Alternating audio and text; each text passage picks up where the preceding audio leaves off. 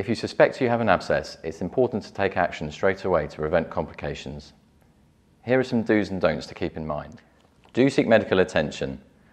Arrange to see a doctor who will perform an examination of the area. The abscess may need draining, or they may need to prescribe antibiotics to help clear the infection. Don't try to drain the abscess yourself.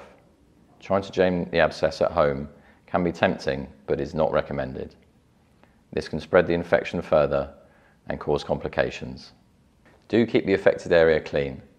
It's important to keep the area around the abscess clean to help prevent infections. To do this, you can use warm water and soap. Don't share personal items.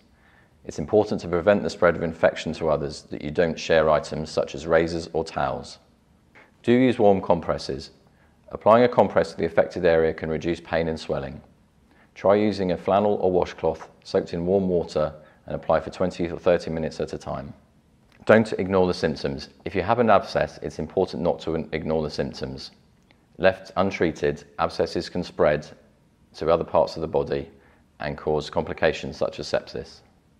If you have an abscess, it's important to seek medical attention early. Don't ignore the symptoms.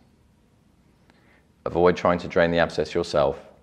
Use compresses to reduce pain and swelling and avoid sharing personal items. Seek medical attention and this can prevent complications and help the abscess heal.